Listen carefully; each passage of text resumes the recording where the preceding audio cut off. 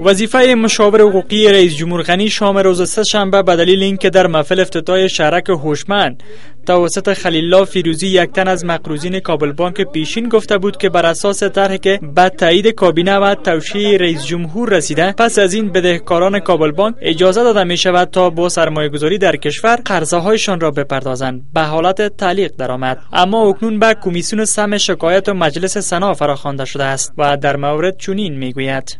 یعنی شما به عنوان نماینده مردم و اصحاب رسانه به عنوان پیام رسان اصلی که از کجا از این مکتوب مشخص میشه که ما گفتم با خلیل فروزی بیا قرارداد امضا و کجا است اگر از یک گوشش از مستفیدی هایش هم اگر میگه پیدا شد من مسئول هستم.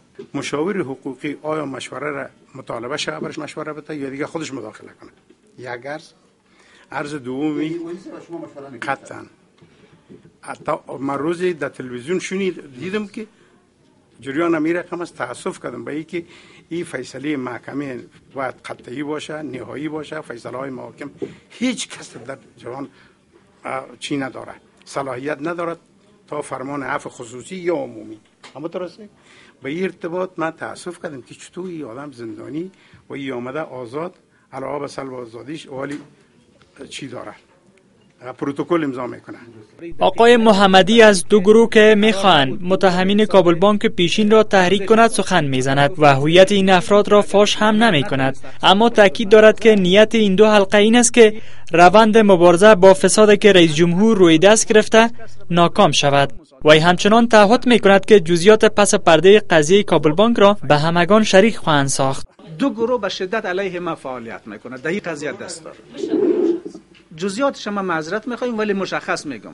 یک حلقه مشخص به خاطر تضعیف و تخریب شخصیت خود ما کار می‌کنن که این اولین اقدامش نیست و آخرینش هم نخواهد بود. پیش از این هم دستایس زیادی کردن اما الحمدلله خونسا شد و به امید خدا این دفعه خونسا میشه. و یک عده دیگه کسایی است که به هر قسم در قضیه کابل بانک دخیل هستند. شما می‌دانید بحران کابل بانک بحران کوچیک نیست که به همین چند نفری که نامش گرفته میشه ختم شود. با این همه رئیس کمیسیون سم شکایات مجلس سنا در این قضیه افراد بیشتر را متهم می سازد موضوعی که ریاست جمهوری نیست آن را میپذیرد. اما مسعود مشترس متهم دی وزیر شهرسازی متهم دی لوی څارنوال متهم دی د د د د بلچرخي د مابس کمانډان متهم دی د خلی پیروزی په کم حکم باندې راځل دي. دغه ټول مسایل دي چې کمیسیون شکایت هم دغه تیری تاسو مطبوعات به ان شاء الله موږ په هر ورځ باندې خبرو دیدن و بازنگری و بررسی مشاور حقوقی رئیس جمهور افغانستان است. تمام ابعاد چگونگی عقد ای تفاهم نامه را بررسی می‌کنن تا روشن شوا اما سوالایی را که شما مطرح کردین و اتهاماتی که در فضای مجازی خصوصا و در رسانه ها رد و بدل میشه. می روشن شود که واقعا چه اتفاق افتاد؟ آقای زابولی همچنان از ایجاد هیئت برای بررسی و چگونگی عقد تفاهمنامه میان بدهکاران کابل بانک پیشین و وزارت امور شهرسازی تعیین شده انتقاد می‌کند.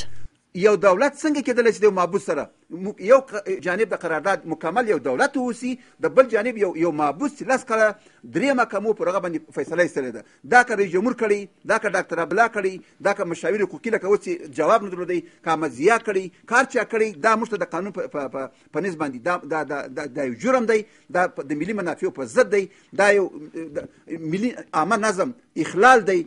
با این همه سرانجام گفته های آقای محمدی قناعت این کمیسیون را فراهم نکرد و وی از سوی این کمیسیون به لوی سارنوالی معرفی شد. در این حال رئیس این کمیسیون از پیگیری جدی امضای تفاهمنامه لغو شده با خلیل الله فیروزی خبر داد.